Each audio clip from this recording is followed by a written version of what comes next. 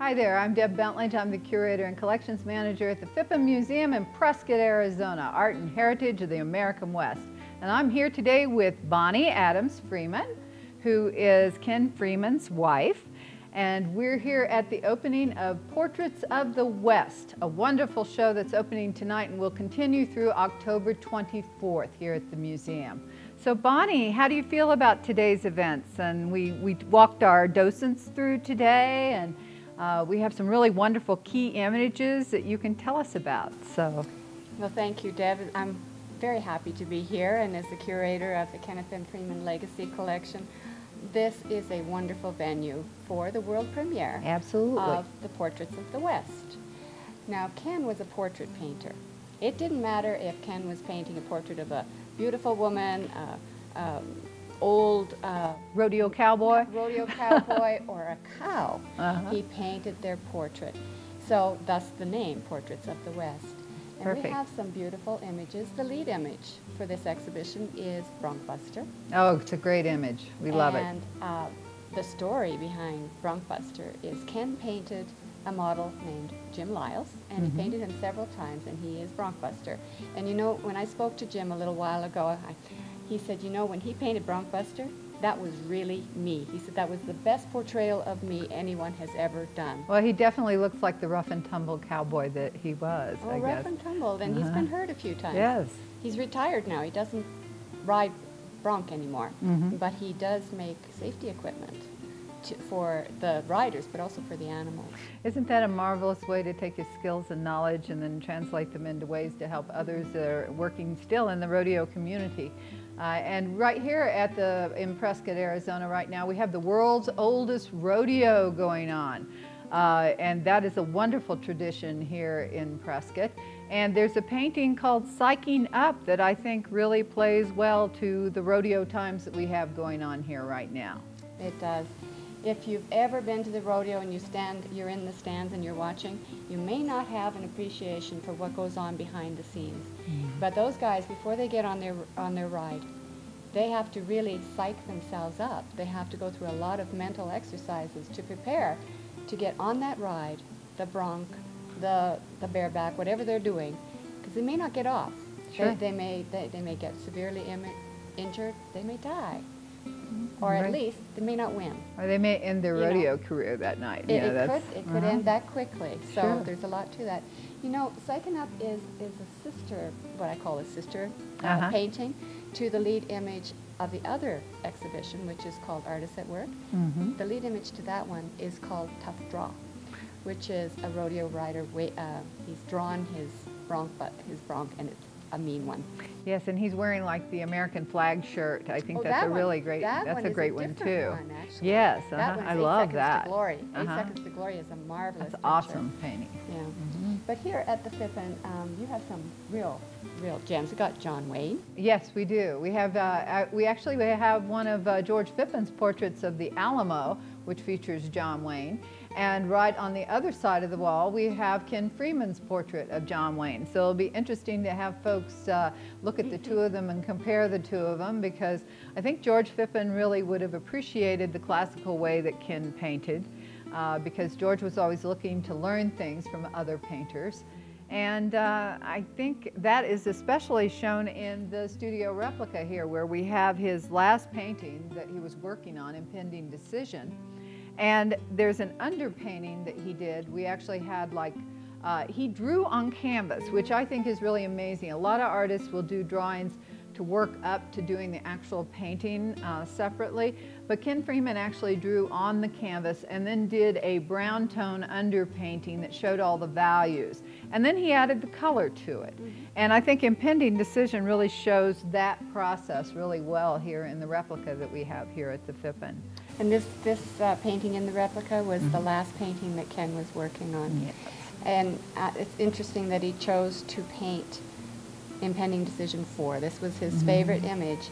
And I don't know, I think he knew what he was doing when he left a complete story of how he painted in that one image. Absolutely, I think he did. It, he painted everything. Everything he did, he painted three times. So that Mm-hmm. he went to the canvas, three different technique, uh, three different steps to the canvas every time. The drawing, the undertone, where he made all his changes, Right? and he always used burnt umber. Mm-hmm. And Well, that's the classical color. way to do it. And he was called the Rembrandt of the rodeo. Yes, after he so- was. He was. Uh-huh. So- Some European artist uh, visitors uh, one day uh, visited Scottsdale and went to some of the galleries where Ken had his Mm-hmm. work, and they said, "This man paints like Rembrandt, but his content is Western America." Absolutely. And so that's how he got that name. Oh, that's wild. We also have some really interesting things in the studio replica here. I mean, let's talk a little bit about the Beatles pennant. I think that's a, a kind of a fun story about Ken's early days in his career. Don't well, you? for, for fun. For fun. fun. Ken uh, was in the rock and roll industry when it first started. He was he was cutting records and managing some R&B Mm-hmm. groups and some of the early. He he brought some of the early early. Um, rock and rock, roll, rock and yeah. roll people uh, to his little teen nightclub. Well, it wasn't little; it was actually pretty big. It was called the Uh-huh. Pink Fink Yeah, I love the name. on, on the west side of Chicago, and there were no kids on the street Uh-huh. In, on, on Saturday night because they were all at the Pink Fink. Uh-huh. And where Ken brought, do you remember Janis Joplin? Absolutely. Well, he. I'm from Texas, honey. he had her in there before she was anybody. Yes. And the Turtles. Absolutely. And he even uh, he he had a. I just found a contract for the Yardbirds. Oh, how funny. Oh, great. I remember that was group. working with them.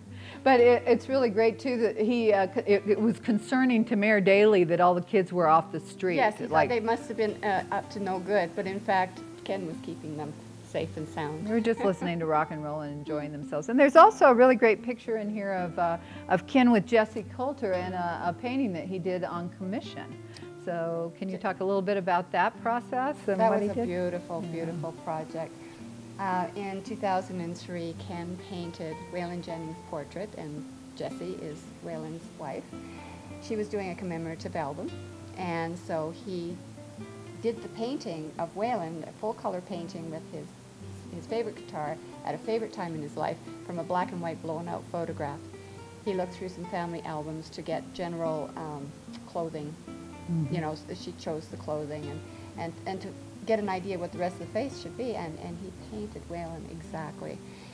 And uh, she would come over to the house, and she would stand right behind his chair and watch over him as, as he was painting, and she cried because, Oh, because she missed him. well, she missed him, and she saw him coming to life again right there in front of her. Yeah. I used to see them perform together at Armadillo World Headquarters in Austin, Texas when I went to school. I mean, they were really a great couple. Great but couple.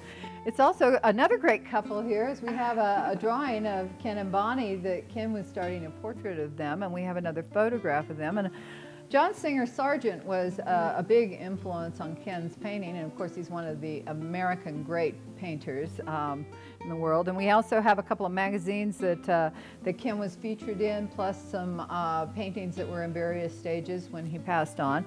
Uh, we also have something that was very special to Ken. Ken called himself a Jewish cowboy because he was a Jewish boy from Chicago who had the cowboy spirit. And he had these two wonderful, wonderful paintings of the rabbis and some of the elders in the church. And one is called Morning Prayer and the other one is called Tradition. So it's really great to have those celebrated here uh, because we really care about cultural diversity here at the Phippen Museum because art and heritage of the American West is very important to us. And we know that that the heritage of the West was created by all different cultures, by the Asian Americans who helped build the, radi- the, the railroad, by the Buffalo soldiers who took care of all of the different pioneers. And we also have one of our favorite Buffalo soldiers in the replica as well, Sergeant Major Bill. We're very happy to have him back in the museum. So Did you know that Ken was uh, uh, I did. He was a captain, He was a right? captain in the Buffalo Soldiers. Uh-huh. That was right. great. How did he uh, get involved with that? I know It's that a really fun yeah. story. Sergeant Major Bill, who Uh-huh. the painting of here, is a truck driver, Uh-huh. and he would stop at all the truck tri- tr- truck stops on his way back and forth from work. And in in a lot of them, impending decision, the print of impending decision was on the walls, Oh. and he fell in love with impending decision. So then one year at the Festival of the West, West, the National Festival of the West in Scottsdale, he saw impending decision hanging in one of the artist booths. And he saw this artist. He said he, he called him this, this little um, city cowboy. Because Ken had on a leather jacket, fancy leather jacket, boots, and he had on a, a very fancy straw hat. And Ken was shorter than Sergeant Major Bill, so he called him Little. Well, Sergeant Major Bill's really He's tall. really tall, I've stood that's next to right. him. So, anyways, he went over there to tell uh, tell this guy, "What are you doing with that image? You know, you shouldn't steal the artist's image." Well, to his big surprise, it was the artist. And meet the artist. And they got to know each other right away. And, Oh, that's and- great. And Ken really helped Sergeant Major Bill um, get into his his role as the historian for the 9th Cavalry Memorial, Arizona Memorial Buffalo Soldiers. Well, it was wonderful. We had some of Ken's Buffalo Soldier work featured here at an earlier show we had last year called Buffalo Soldiers, Vaqueros, and Friends. And uh, it was really nice. That's actually where I got to talk to Ken. I called up after seeing an image of Sergeant Major Bill and spoke to Ken, and he had just come back from Milan in his one-man show. He was so happy about how that show had gone, and he was very excited to be shown here at the Phippen because he actually has been one of our booth artists in our annual Memorial Day show. Uh, so Ken knew all about the Phippen, and he was very excited to be featured in a show here. So uh, it's great to have him back here, and we've got we are surrounded in this museum right now by portraits of the American West, and we hope that you folks will take your take some time and come out to Prescott, Arizona, in the beautiful Granite Dells, and come visit the Phippen uh, because this show will be here until October 24th.